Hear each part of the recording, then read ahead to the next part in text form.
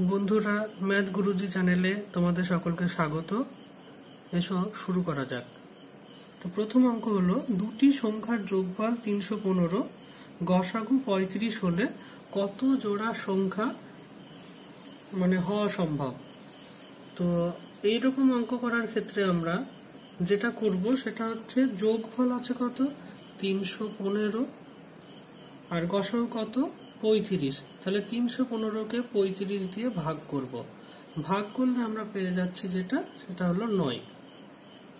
এবার নয়কে আমরা কীভাবে লিখতে পারি? নয় সমান এক প্লাস আট সমান নয়, দুই প্লাস সাত নয়, তিন প্লাস ছয় সমান নয়, আবার চার প্লাস পাঁচ সমান নয়। নয়কে যেহেতু মোট এরকম চারটে ক্যাটাগরিতে ভেঙে ফেলা যাচ্ছে, সুতরাং মোট সংখ্যা হলো চার জোড়া। এর পরের প্রশ্ন এসো, দেখা যাক। দুশো এবং তিনশোর মধ্যবর্তী মধ্যে বৃহত্তম কোনো সংখ্যাকে ছয়, আট এবং নয় দ্বারা ভাগ করলে প্রতি ক্ষেত্রে পাঁচ ভাগশেষ থাকবে। বন্ধুরা, আগে আমরা অঙ্কে দেখেছি এরকম অঙ্ক করার ক্ষেত্রে যেহেতু বৃহত্তম বলেছে, সেই জন্য সংখ্যাগুলোর আমরা লসাগু বের করে নিই। তো এখানে সংখ্যাগুলো কত কত আছে? ছয়, আট আর নয়। ছয়, আট আর নয়ের লসাগু হলো বাহাত্তর। এখন বাহাত্তরকে তার গুণিতক দিয়ে গুণ করলে দুশো থেকে তিনশোর মধ্যে আসছে। কত দিয়ে সেটা আমরা দেখব। যদি তিন দিয়ে গুণ করি, তিন দুগুণ ছয়, তিন সাতে একুশ। দুশো ষোলো, চার দিয়ে গুণ করলে চার দুগুণ আট, চার সাতে আঠাশ, দুশো অষ্টআশি। সুতরাং এর বেশি গুণ করলে তিনশোর বাইরে চলে যাচ্ছে। সুতরাং সংখ্যাটি হলো দুশো অষ্টআশি। এবার বলেছে প্রত্যেক ক্ষেত্রে পাঁচ ভাগ শেষ থাকবে। সেই জন্য দুশো অষ্টআশির সঙ্গে পাঁচ যোগ করব। তার মানে দুশো তিরানব্বই। এটাই হলো আমাদের উত্তর। এবার তৃতীয় প্রশ্ন দেখা যাক। তৃতীয় প্রশ্নটি হলো, কোন বৃহত্তম সংখ্যা দ্বারা আটত্রিশ পঁয়তাল্লিশ বাহান্নকে ভাগ করলে অবশিষ্ট থাকবে যথাক্রমে দুই, তিন এবং ছয়।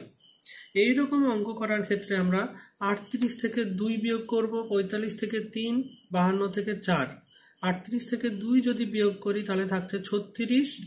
পঁয়তাল্লিশ থেকে তিন বিয়োগ করলে থাকছে বিয়াল্লিশ আর বাহান্ন থেকে চার বিয়োগ করলে থাকছে আটচল্লিশ।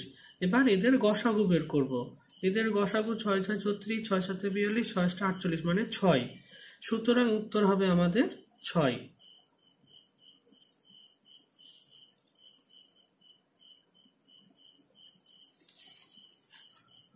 এবার আমরা পরের প্রশ্ন দেখব।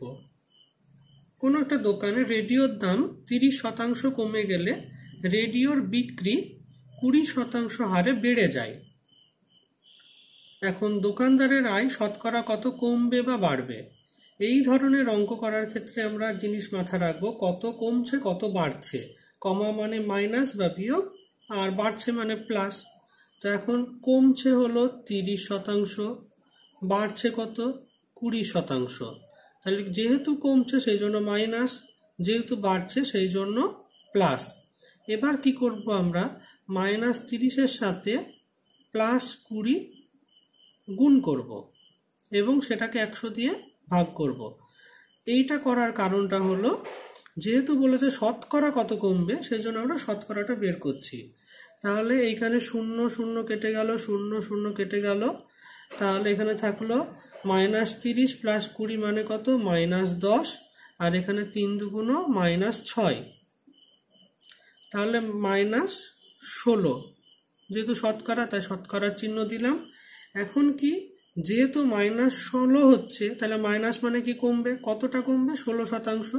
তাহলে আমাদের উত্তর হবে এ, ষোলো শতাংশ। তো ধন্যবাদ বন্ধুরা। আমার চ্যানেলটি যদি ভালো লাগে, তোমাদের অঙ্ক এখান থেকে যদি শিখে কিছু উপকার হয়, তাহলে আমার খুব ভালো লাগবে। আর আমার চ্যানেলটি পছন্দ হলে সাবস্ক্রাইব করার জন্য অনুরোধ করছি। ধন্যবাদ।